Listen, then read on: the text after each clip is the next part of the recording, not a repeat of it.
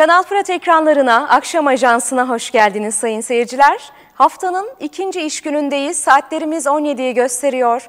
Bizler hafta içi her gün olduğu gibi bugün de sizlerle birlikteyiz. Buyurun akşam ajansına.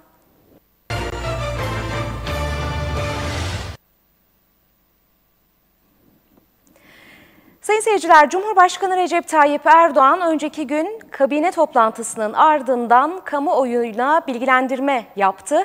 Ee, Cumhurbaşkanlığı Külliyesi'nde gerçekleşen basın toplantısında e, Genel Yayın Yönetmenimiz Zeki Akbıyık da yer aldı ve Cumhurbaşkanı Erdoğan hem ülke gündemiyle ilgili hem de koronavirüsle mücadelede gelinen durumla ilgili kamuoyunu bilgilendirdi. Cumhurbaşkanı Recep Tayyip Erdoğan, COVID-19 tedbirlerinin devam edeceğini ve önümüzdeki süreçte nelerin yapılacağını anlattı.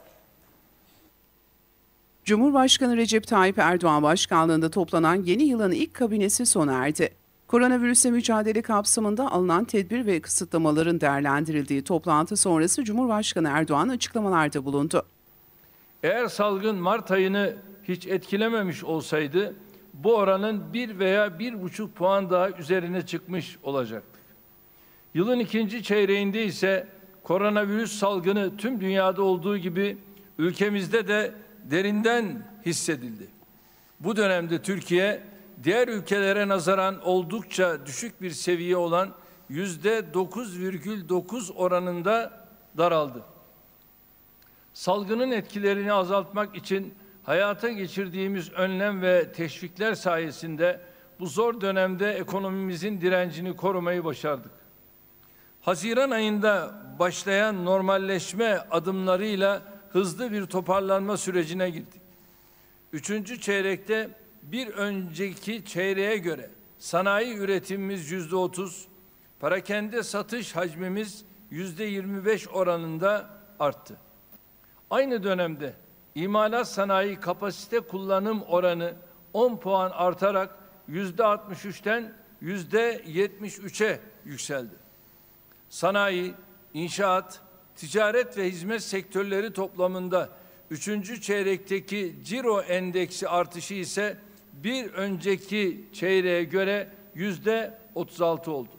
Televizyonlarımız Genel Yayın Yönetmeni Zeki Akbay'ın da aralarında bulunduğu basın mensupları toplantıda alınan kararları açıklayan Cumhurbaşkanı Erdoğan alınan tedbirlerle birlikte salgının artış hızının düştüğünü söyledi. Salgın tedbirlerinin faaliyetlerine ara verilen esnaflarımız, öğrencilerimiz, çalışanlarımız başta olmak üzere vatandaşlarımız üzerinde yol açtığı sıkıntıları yakinen biliyoruz.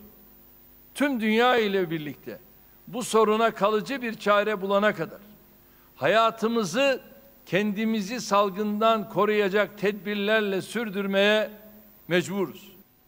Erdoğan tedbirleri elden bırakmayarak alınan önlemlerde esneklikler gerçekleştirileceğini kaydetti.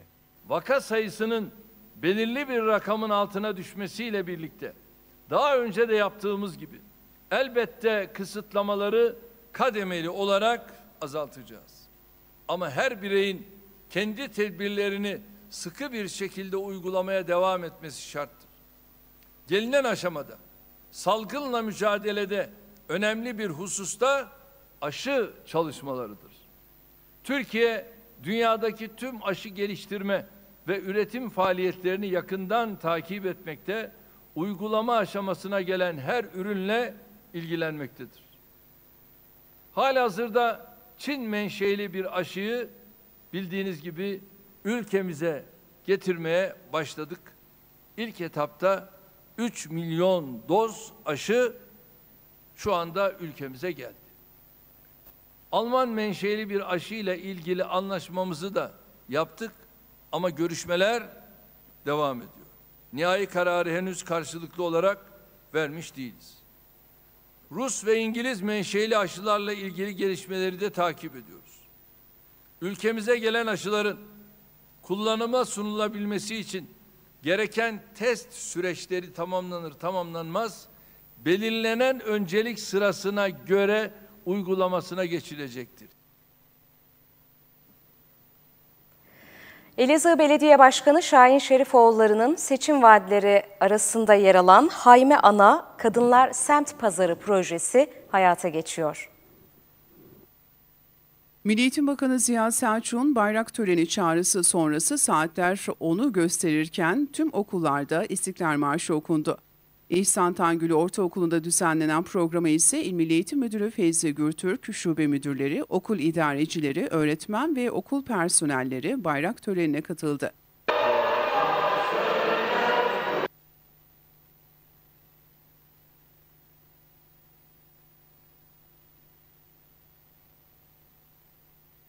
Milli Eğitim Bakanı Ziya Selçuk'un bayrak töreni çağrısı sonrası saatler onu gösterirken tüm okullarda İstiklal Marşı okundu. İhsan Tangülü Ortaokulu'nda düzenlenen programa ise İl Milli Eğitim Müdürü Feyzi Gürtürk, şube müdürleri, okul idarecileri, öğretmen ve okul personelleri bayrak törenine katıldı. Milli Eğitim Bakanı Ziya Selçuk'un bayrak töreni çağrısı sonrası saatler onu gösterirken tüm okullarda İstiklal Marşı okundu. İhsan Tangülü Ortaokulu'nda düzenlenen programa ise İl Milli Eğitim Müdürü Feyzi Gürtürk, şube müdürleri, okul idarecileri, öğretmen ve okul personelleri bayrak törenine katıldı.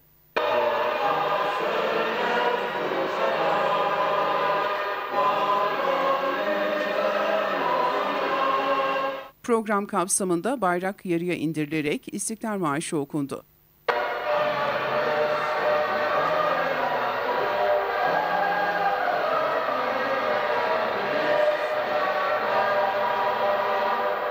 Temennilerinin en kısa sürede öğrencilerle beraber İstiklal Marşı'nın okunması olduğunu dile getiren İl Milli Eğitim Müdürü Feyzi Gürtürk, çocukların EBA üzerinden törene katıldığını söyledi. Çoktandır çocuklarımız İstiklal Marşı'na e, katılmadılar.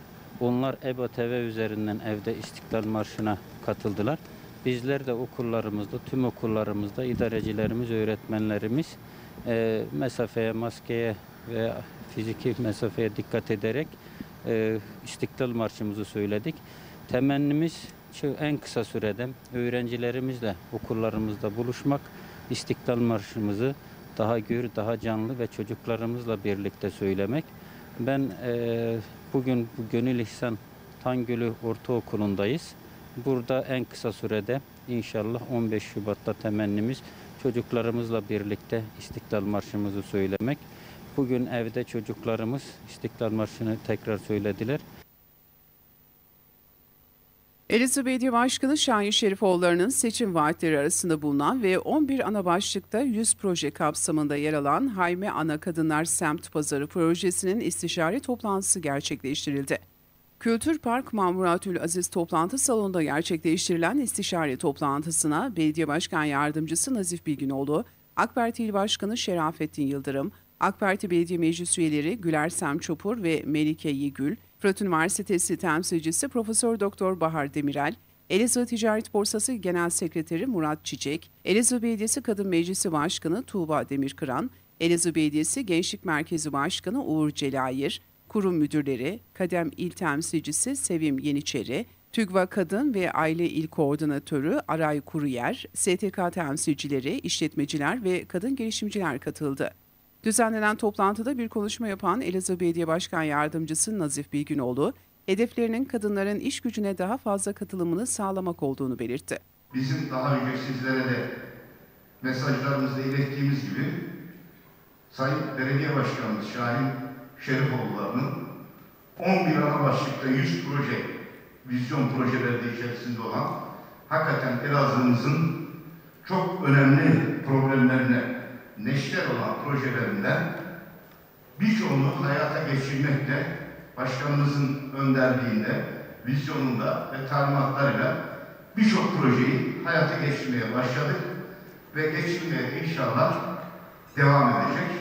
Bu projelerimiz içerisinde yer alan bu Haymana Kadın Sen Pazarı projesi de hakikaten önemli bir proje. Bilginoğlu, Hayme Ana Kadınlar Semt Pazarı projesini kadın kooperatifi veya girişimci kadın birliği ile oluşturacaklarını kaydetti.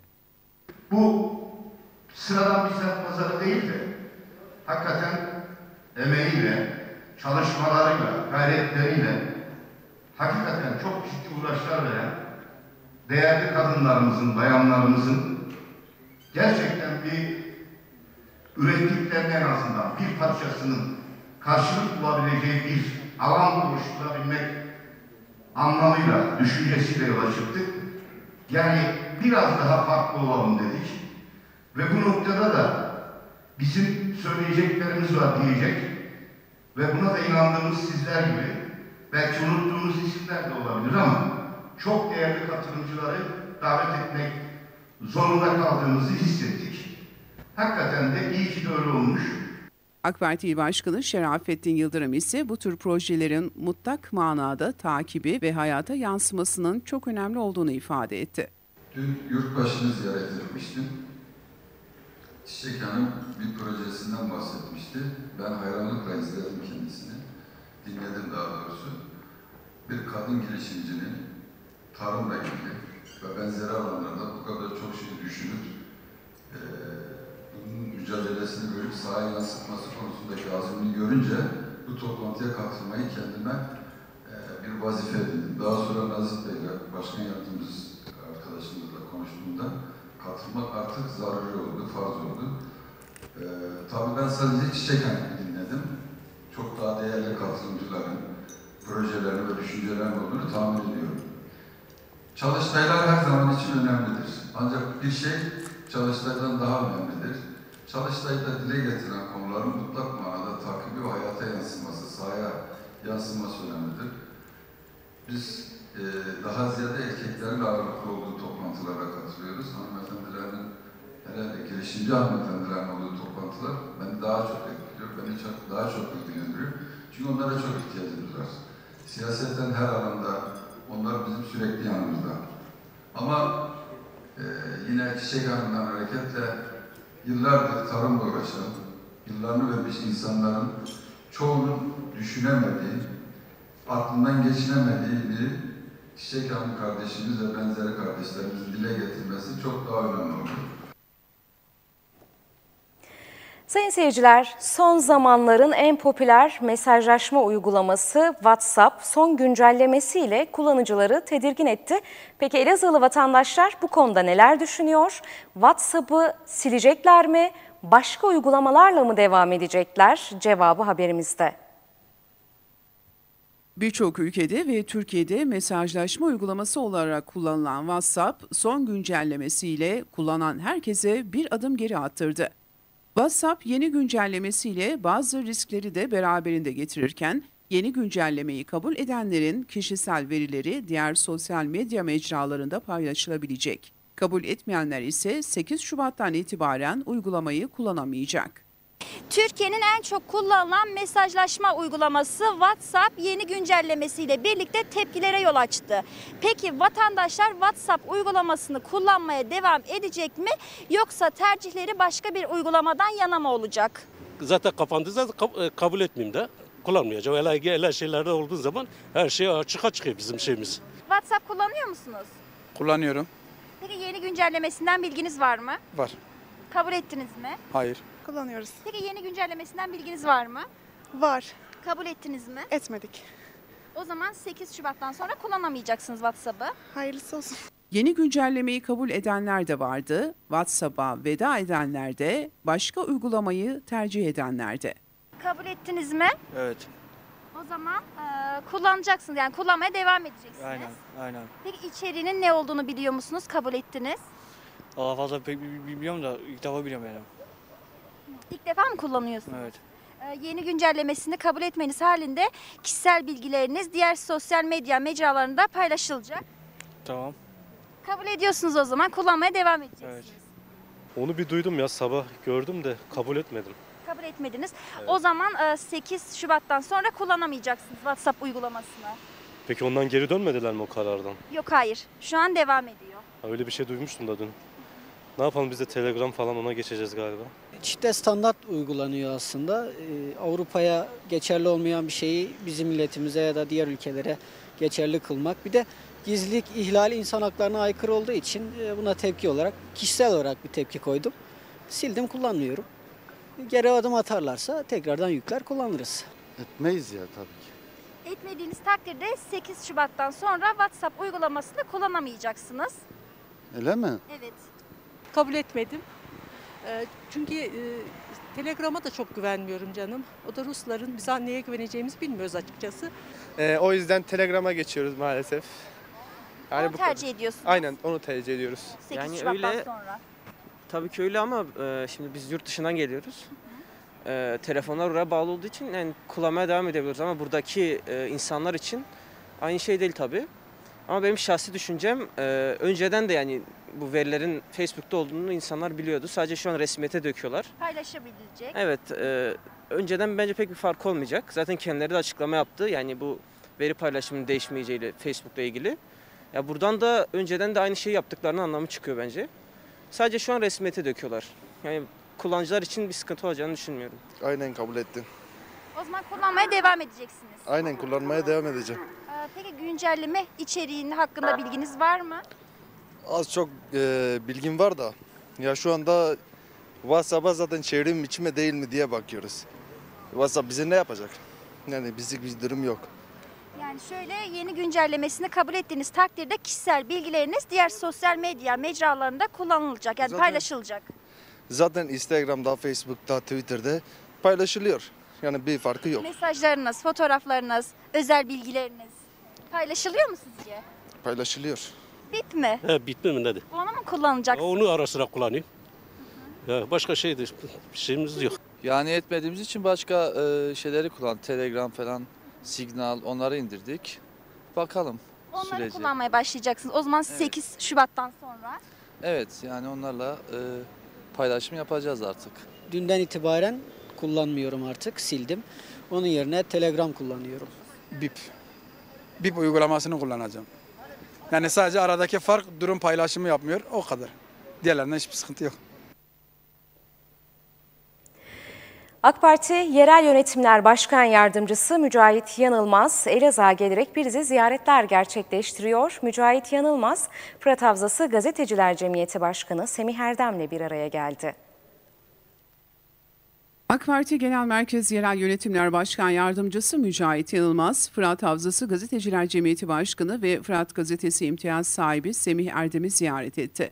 Ziyarette değerlendirmelerde bulunan Başkan Yardımcısı Yanılmaz, Elazığ depremine değinerek devletin milletinin yanında olduğunu, tüm imkanlarını şehre aktardığını söyledi.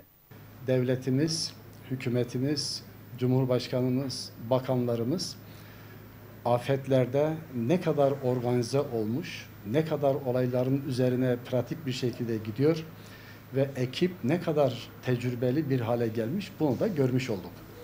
Ben bu karşılaştırmayı özellikle 1999 e, Ağustos ayında olan depremde o zaman Ankara Büyükşehir Belediyesi EGÖ Genel Müdürü olarak arazide görevli biri olarak diyorum.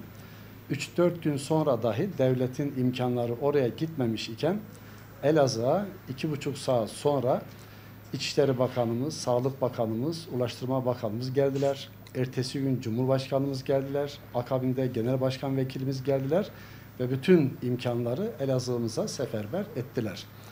Tabii o dönemden sonra meydana gelen bir pandemi olayı bütün dünyayı vurmakla birlikte Elazığ'ı ikinci kez vurmuş oldu. Bu açıdan e, olaylara baktığımızda Elazığlı hemşehrilerimiz elbette e, zor günler geçiriyor. Ancak e, hem yapılan konutlar hem devletin yapmış olduğu yardımlar ve diğer çalışmalar Allah'ın izniyle kısa bir zaman içinde hem vatandaşlarımızın, hemşehrilerimizin daha rahat ve huzurlu olmalarına vesile olacak hem de şehrimiz e, bulunduğu noktadan çok daha ileri noktaya gitme imkanını bulmuş olacaktır. Fırat Havzası Gazeteciler Cemiyeti Başkanı ve Fırat Gazetesi imtiyaz sahibi Semih Erdem de Yanılmaz'ın belediye başkanlığı döneminde şehre kalıcı eserler bıraktığını kaydetti. E, Başkanımız buraya 4 sene kalıcı eserler de bıraktı. Bugün yani şu anda ilk aklıma gelen Şe- Sekil e, piknik alanı, mesire alanı veya bir cip mesire alanı, millet bahçesi, kültür park. Şu anda aklıma gelenler bunlar. Harput'ta bir sürü yenilik şey. Bir de Türkiye'de mesela ilk defa onu yaptı. Hayır Çarşısı. Yani bu Türkiye'deki diğer belediyelerden örnek olmuştu. Sayın Başkanım bu dört yıllık süre zarfında başarılı çalışmalara imza attı. Bu bayrak yarıştı. Şu anda da Şahin Başkanımız tekrar kaldığı yerden devam ediyor. Ama Elazığ'ımızın dediğim gibi iki sorunu var. Yani diğer illerin bir sorunu var, bizim iki sorunumuz var. E, Bu konuda da zaten devletimiz depremle ilgili şu ana kadar 8 bin konutu hazır, hazır hale getirdi. Etep etep e, kurallar çekiliyor ve dağıtılıyor bunlar. Yani bu konuda da devletimize müteşekkiriz. Bir de bakanlarımızın burada gelip 45 gün gece gündüz çalışmaları, burada mesai harcamaları, bunlar da yani bizim Elazığ'ımız için iyi oldu. Sayın seyirciler, Mücahit Yanılmaz'ın ziyaretlerinin bir başka durağı da medya grubumuz oldu. Mücahit Yanılmaz, Kanal Fırat'ın da aralarında bulunduğu medya grubunun Elazığ'ın en köklü e, basın camiasından biri olduğunu söyledi. Elazığ'a gelen AK Parti Genel Merkezi Yerel Yönetimler Başkan Yardımcısı Mücahit Yanılmaz, medya grubumuzu ziyaret etti. 10 Ocak Çalışan Gazeteciler Günü'nü kutlayan Mücahit Yanılmaz, Kanal Fırat'ın Elazığ'ın köklü medya gruplarından biri olduğunu söyledi. Evet ben öncelikle e, 10 Ocak Çalışan Gazeteciler Gününüzü kutluyorum. Gazetecilik zor bir meslek. E, interaktif bir meslek. 24 saat interaktif olması gereken bir meslek. Dolayısıyla e, Kanal Fırat ve e, medya grubu Elazığ'ımızın çok köklü bir medya grubu ve e, Elazığ'ımızın tanıtımında çok büyük hizmetler yapmış olan medya grubu. Ben e, yurt dışına da gittiğimde yurt dışından izlendiğini ve bu izlenme neticesinde Elazığ kültürünün de birçok Elazığlı olmayanlar tarafından benimsendiğini görüyorum. Bu açıdan tebrik ediyorum. 2020 yılının depremler ve pandemi mücadelesiyle geçtiğini ifade eden Yanılmaz, 2021'in huzur getirmesini temenni etti. İnşallah 2021 yılı önce Elazığ'ımıza, sonra ülkemize, sonra bütün dünyaya huzur ve mutluluk getirir. Sevinç getirir. 2021 yılının da böyle devam etmesini Yüce Allah'tan temenni ediyorum. Bu açıdan hem medya grubunuzu ziyaret edelim dedik, hem de Elazığ'ımızda gelecekle ilgili yapılacak olan çalışmalar neler olabilir onları da arkadaşlarımızla, dostlarımızla istişare ediyoruz.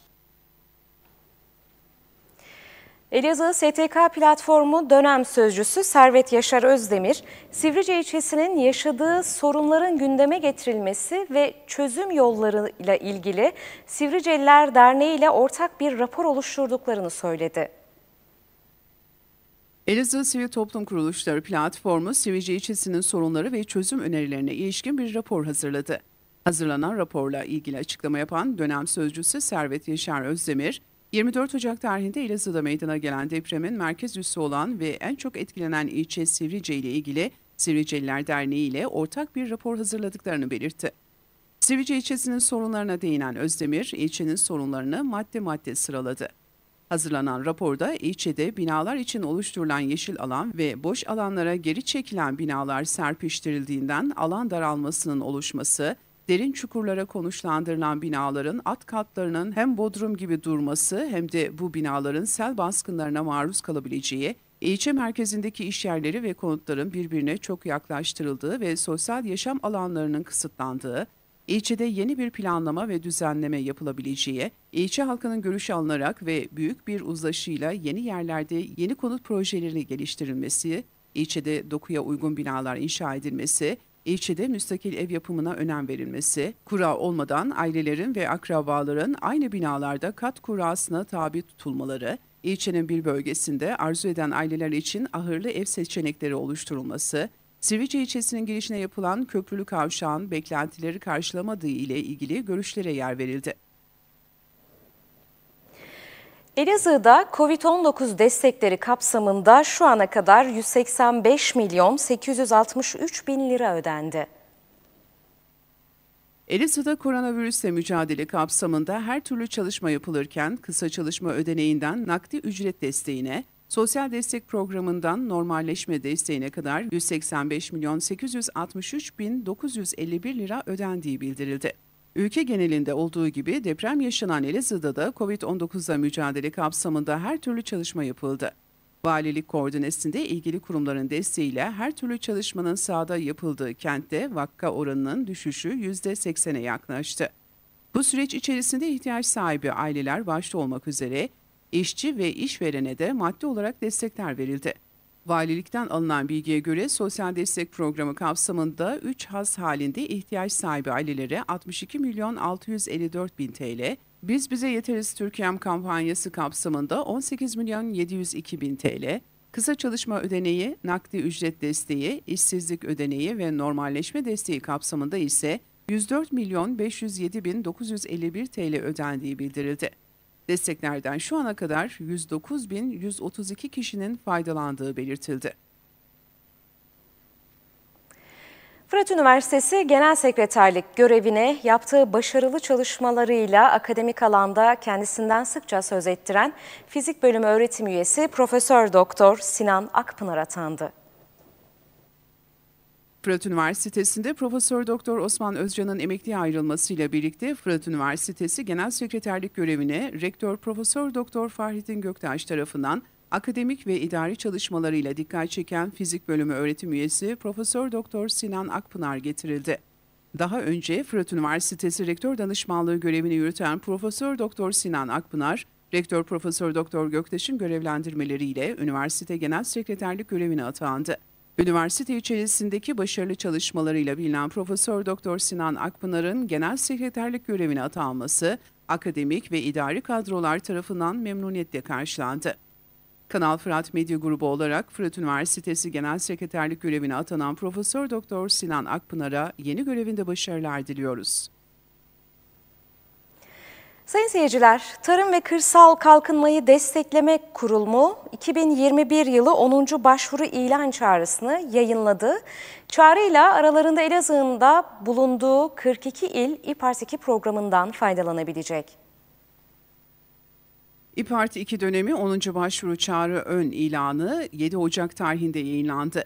Tarım ve Orman Bakanlığı'nın ilgili kuruluşu olan Tarım ve Kırsal Kalkınmayı Destekleme Kurumu Koordinatörlüğünde 10. dönem çağrı kapsamında iki farklı tedbir kapsamında destekler gruplandırıldı. Programın kaynağı faydalanıcılara uygun harcamalar karşılığında sağlanacak olan mali desteğin kaynağı, Avrupa Birliği ve Türkiye Cumhuriyeti eş finansmanından oluşturulan İPART programı fonudur. Bu başvuru çağrı ilanı kapsamında destek olmak amacıyla başvuruların yapılacağı ve yatırımın uygulanacağı iller, İPART programının uygulandığı ve aralarında Elazığ'ın bulunduğu 42 ildir. Tedbir 101 kapsamında süt üreten tarımsal işletmeler, kırmızı et üreten tarımsal işletmeler, kanatlı et üreten tarımsal işletmeler ve yumurta üreten tarımsal işletmelerin yatırım toplamının %50-70 arasındaki kısmına hibe desteği verilecek. Tedbir 103 kapsamında süt ve süt ürünlerinin işlenmesi ve pazarlanması, kırmızı et ve et ürünlerinin işlenmesi ve pazarlanması, kanatlı eti ve et ürünlerinin işlenmesi ve pazarlanması, su ürünlerinin işlenmesi ve pazarlanması, meyve ve sebze ürünlerinin işlenmesi ve pazarlanması yatırım programının %40-50 arasındaki kısmına hibe sağlanacak. Online yapılacak başvurular 15 Şubat'ta başlayacak. Tedbir 101 kapsamındaki son başvuru tarihi 16 Mart, tedbir 103 için ise 26 Mart olarak açıklandı. Fırat Üniversitesi'nden 8 öğrenci TÜBİTAK 2247 Stajyer Araştırmacı Burs Programı kapsamında destek almaya hak kazandı. TÜBİTAK tarafından lisans öğrencilerinin ARGE kültürü kazanmaları, araştırma ekosistemine ilk adımı atmaları ve araştırma yapmaya teşvik edilmeleri amacıyla başlatılan TÜBİTAK 2247 C Stajyer Araştırmacı Burs Programı kapsamında Fırat Üniversitesi'nden 8 öğrenci girdi. 145 farklı üniversiteden 1359 farklı projede yer almak üzere 1500 lisans öğrencisinin desteklendiği programda öğrenciler Fırat Üniversitesi bünyesinde yürütülmekte olan projenin yanı sıra diğer üniversite, enstitü ve özel şirketlerin bünyesindeki projelerde de görev alacakları kaydedildi. Önümüzdeki dönemlerde üniversite bünyesinde desteklenen projeleri artıracaklarını belirten Rektör Profesör Doktor Fahrettin Göktaş, Sektör firmalarının ARGE merkezleriyle koordineli olarak yürütülecek programlarla üniversite olarak ülkemize ARGE tecrübesi kazanmış lisans mezunları kazandıracağız. Bu sayede Fırat Üniversitesi'nde üretilen bilgi ve tecrübeler ülkemizin sanayisine aktarılacaktır, dedi. Sayın seyirciler, ömründe sadece iki yıl önce bir hastaneye giden 6 çocuk 80 torun sahibi 102 yaşındaki Şahinde Nine yakalandığı koronavirüsü evde tedavi alarak tamamladı ve tekrar sağlığına kavuştu. Sivrice ilçesine bağlı Sürek köyünde 100 yaşına kadar oğluyla yaşayan 102 yaşındaki Şahide Gürbüz 2 sene önce köyden kente yerleşti. Maçı şey He. He? Gelmişse maçır. Şerif bir binadan karı Sabah ya. Merkeze bağlı Rüstempaşa mahallesinde ikamet eden Şahide Nine 12 gün önce rahatsızlandı. Bunun üzerine evde alınan test sonucunda koronavirüse yakalandığı ortaya çıktı. 6 çocuk, torun ve torunlarının çocuklarıyla toplam 80 torunu bulunan Şahide Nine, Covid-19'u evinde uygulanan tedaviyle ufak öksürüklerle yenmeyi başardı. 25 yıl önce eşini kaybeden bir asırlık ömrünü köyde geçiren ve hiçbir kronik rahatsızlığı bulunmayan Şahide Nine, hayatında ilk defa 2 sene önce üşütme şikayetiyle hastaneye gitti. Köyde kendi hayvanlarından ürettiği doğal besinlerle beslendiğini ve bunca yaşı buna borçlu olduğunu dile getiren Şahide Nine, maskesiz kimse dışarı çıkmasın, herkes maskesini taksın uyarısında bulundu. Kere davar mazaptı. Ma gale rumete, ma devi rumete, ma nahay rumete, lazviti rumete. Çizaptı. Babaannesinin 1919 doğumlu olduğunu belirten Altan Gürbüz, Şahide Nine'nin doğal beslenmeyi tercih ettiğini söyledi. Bu koronavirüsü ufak öksürük e, şikayetiyle e, ve bir sorunsuz olarak atlattı. E, Allah'a şükür e, şu an gördüğünüz gibi durumu da çok iyi. Babaannem e, normalde biz e, e, Elazığ'a 2-3 senedir gelmiş babaannem. Bundan önceki hayatı hep köylerde geçmiştir. Yani köy hayatı yaşamıştır ve doğal beslenmiştir. Bundan dolayı bu uzun süre yaşamı ben köy hayatına bağlıyorum. Babaannemin e, 6 çocuğu var. E, 4 kız, 2 erkek. Torunlarının çocuklarıyla yani torunlarının çocuklarıyla tahminim bir 70-80 tane torunları vardır. Tuhafiyeciler Odası Başkanı Mithat Ulaş, esnafın zor günler geçirdiğini belirterek bu zor günlerde devletin esnafın yanında yer aldığını söyledi. Tuhafiyeciler ve Konfeksiyoncular Odası Başkanı Mithat Ulaş, pandemi döneminde esnafa sağlanan hibe destekleri için müracaatların sona erdiğini söyledi. Özellikle pandemiden ötürü Sayın Cumhurbaşkanımızın e, kararnamesiyle e, esnaflarımıza sağlanan hibe desteklerinin müracaatları geçen hafta Cuma bitmesinin akabininde tekrar bir üç günlük uzatma süreti, süresi verildi. Malumunuz dün gece 23.59 itibariyle müracaatlar bitti. Devletin sağlayacağı hibe ve kira desteklerinin esnafı rahatlatacağını ifade eden Başkan Ulaş, oda olarak da üyelerinin yanında olduklarını söyledi. Evet, Elazığlılar olarak gerçekten devletimizin vereceği 1 milyon gelir desteği kaybı, 500'de kira desteği gerçekten Elazığ adına, Elazığ esnafı adına kaçınılmaz olduğunu gördük. Evet, bizler gerek oda olarak, gerekse şahsi olarak elimizden geldiği kadarıyla kendi odamızın üyeleri ve diğer odaların da üyelerinin e, bu süreçte kendilerine desteklerimiz eksik olmadı. Başkan Ulaş, devletin, milletinin ve esnafının yanında olduğunu belirterek, borçların yeniden yapılandırılmasında sunulan hizmetlerden biridir dedi. Devletimizin e, yaklaşık olarak bir ay, bilmedik iki ay öncesinde e, devletimize ve farklı kurumlara olan esnaflarımızın borçlarının da yapılandırılarak peşin ödemelerde yüzde 90 faizinin silinmesi, taksitlendirmede de bekli, belli oranda e, bir faizin düşürülmesiyle beraber e, esnaflarımızın bu imkanda sağlanmasını meydana getirdiler. Elazığ Ticaret ve Sanayi Odası da 2018-2020 yılları arasındaki tüm medya paylaşımlarını bir yayın haline getirdi.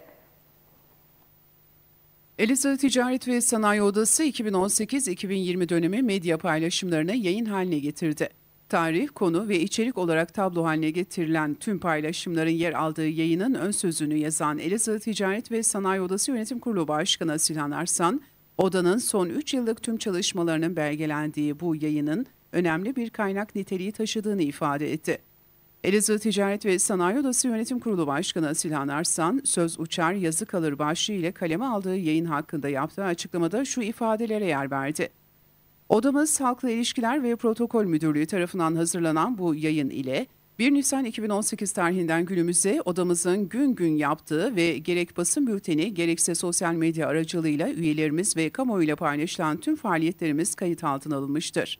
Oda arşivimize kazandırılan ve tarihe not düşen bu yayın ile bu hizmet döneminin gün gün tüm faaliyetleri bir araya getirilmiş ve bundan sonraki süreçlerde yapılacak çalışmalar için de kaynak gösterilme imkanı sağlanmıştır.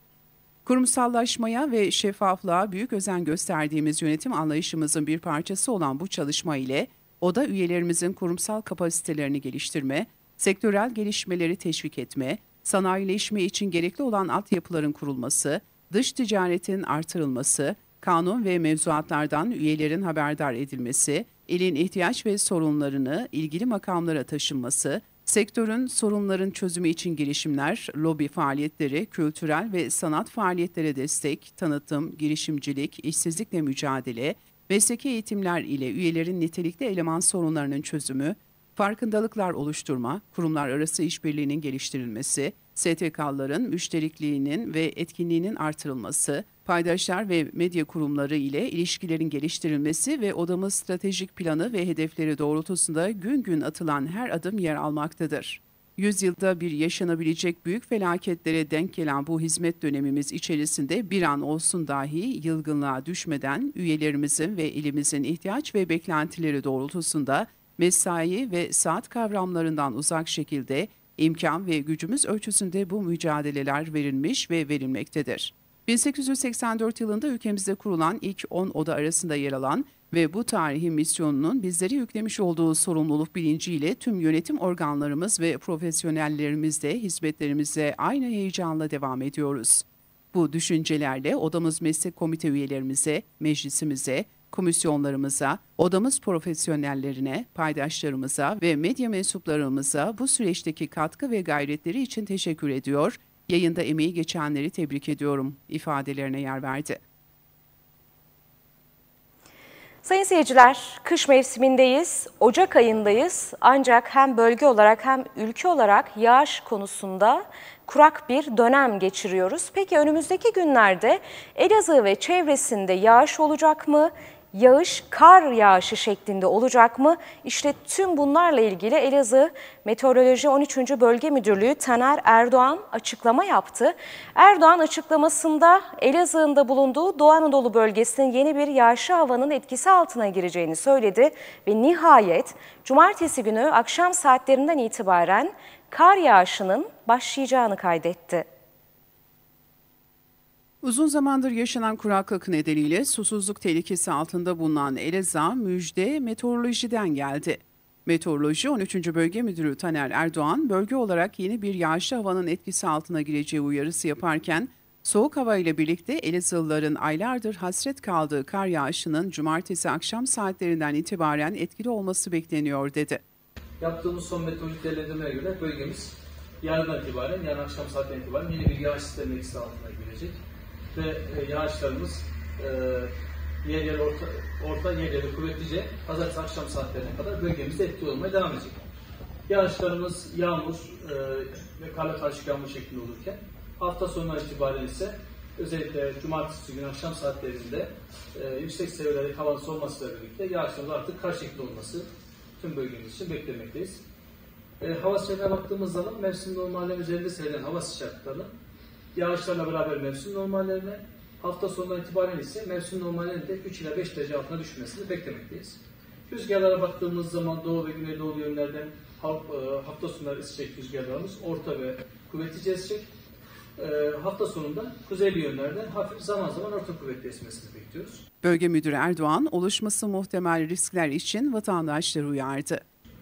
E, yaptığımız bu değerlendirmeye özellikle yağışlarla beraber e, ulaşımda aksamalara, e, yer yer sel su baskınları olabilir. Ee, ve bu yağışlı sistem özellikle pazar günü itibaren havanın soğumasıyla birlikte vatandaşlar özellikle buzlama ve don, don olaylar için dikkatli ve tedbirli olmalarında fayda var. Ve bu haberle bugünkü akşam ajansında noktalıyoruz sayın seyirciler. Yarın saatler 17'yi gösterdiğinde görüşmek ümidiyle ekip arkadaşlarım adına iyi akşamlar diliyorum. Hoşçakalın.